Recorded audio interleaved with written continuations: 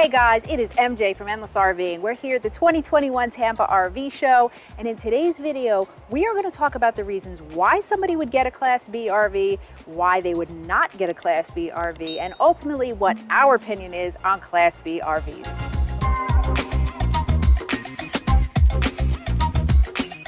So why are these so popular with RVers? So we're gonna list several pros. Number one, they're easy to drive. Now the one behind us, which is an American Coach Patriot, is actually a little bit bigger, but compared to like our motorhome, it's, it's a baby. These can fit anywhere, supermarket parking lot. They don't have a really high clearance, so it's not really an issue going down some roadways with clearance they fit anywhere. Being that they're so compact, if you like traveling to national parks, RV and natural parks, or many state parks, this is perfect. Many national parks have a limit on the size of RV you can bring in. This is not gonna reach the limit, you're gonna be good to go.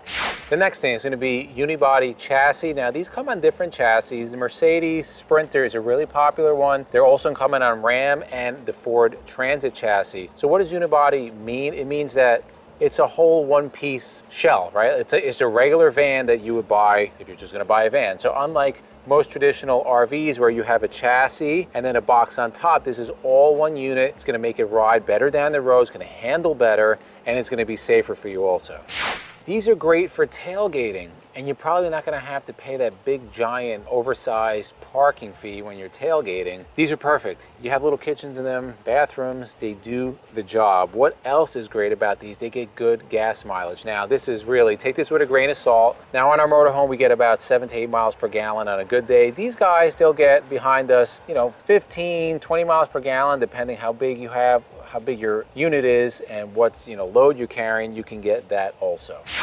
Now, theoretically, these should be able to be serviced at your dealerships. Now, we have read some people saying that dealerships, and I'm talking about chassis dealerships, like if you buy Mercedes, Mercedes-Benz dealerships, that some won't service it. But these are definitely smaller. You're gonna have less of a hard time getting into service bays when you have something of this size.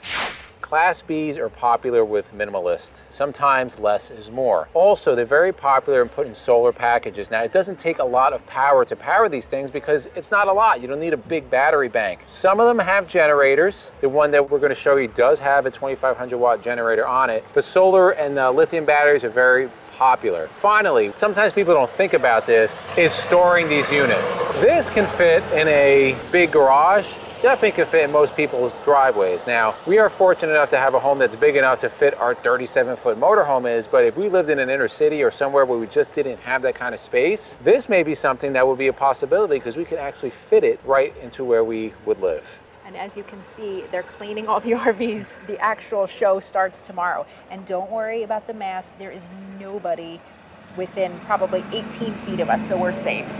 All right, so now why wouldn't someone get these? And let's, you know, talk a little bit about the cons. Number one, I think for many people is cost. For us, we could not justify the cost of getting something like this. And you'll see the, the MSRP on this one is 182 615. Now, that was the MSRP on our 37 It was actually less. Class A. Yes, yeah, it was a little less than that. So for us, you know, we like the space, as you know, so definitely cost. Many of these Class Bs are pretty hefty in the price area. A lot of they're on the, these Mercedes chassis and things, but for us, we just couldn't justify that. Now you could offset your cost if you're into building your own van. Mm -hmm. If you're that handy, you certainly yeah. could do that. And if you didn't go on a Mercedes, like MJ said, if you're going to Ram or mm -hmm. a Ford, it, it, will be less, less but they're still pretty pricey. Mm -hmm. Number two, a lot of people like space. And as you know, Class Bs don't provide a lot of space for people that do like to spread their wings. Again, for minimalists and people that less is more, it's perfect for them. But for us and people that do like the bigger RVs, definitely space is high on the list of a con. And next is lack of storage. So on this one, on this American coach behind us, it's the Patriot, there's no external storage. Now again, when you're in one of these, you're probably carrying less anyway, but still, that is a huge thing. Again, for people like us, we need room. We're not fitting our total gym in a Class B.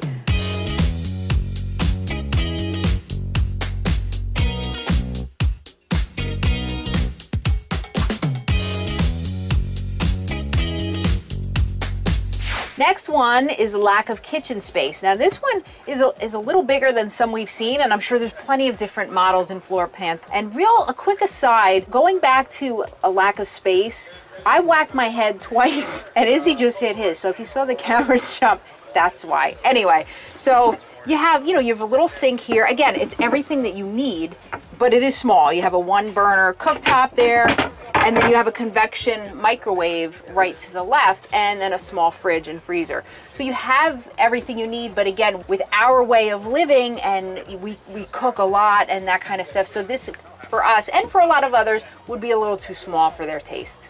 Next one is your bathroom. So these have wet baths, which I'm not a fan of. I barely fit in there. And there's no way Izzy's going to be able to take a shower in there without showering like you know Will Ferrell in the Elf. So that's not going to happen. It's functional. It does what it's supposed to do. But again, it's just not something that we really care for.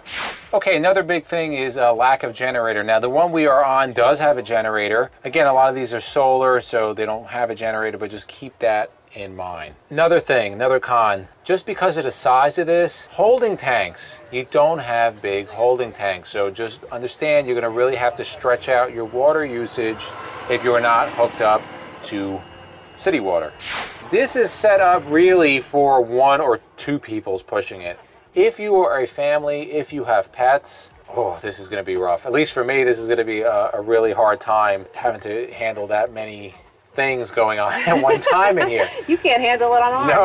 No. Another con, limited floor plans. There's only so much you can do with this space. Now, this is actually one of the bigger mm. Bs. A lot of them are smaller than this. You got two seats up front, almost never going to have a dedicated bedroom. It's going to be like multifunctional. So it's going to be like a couch in the back or recliners. that's going to turn into a bed. So these are things that you're going to have to be doing constantly if you're on something like this. And something else to think about too, if you're not towing a vehicle, if this is your vehicle and you are set up and you want to head out, remember to remember you're gonna have to break down and set up each time you do that. Again, it's not a ton of time, but it's just something to keep in mind if you do not have that tow vehicle. Oh, so you could see um, we are not very wide and this is crazy. It's cozy. So anyway, in the comments below, let us know if you have a Class B, why you have it. Here's our final verdict. Are we ever getting a Class B? No. Never say never, but B plus, high maybe. likely, highly likely not. Yeah, I mean, listen, we, we're relatively young, we're flexible, limber. I don't see how people that are larger or have some kind of uh, injury that, you know, mobility issues, how, how you it even might get be in challenging, but let us know. We're really curious about this. You know, we kind of gave you the facts and the info, but if you have one, let us know your thoughts. Imagine us with the dogs in here. This oh would be my insane. God, two pit bulls. This would be insane. Anyway, we thank you guys for watching us, and we will see, see you, on, on, the road. road.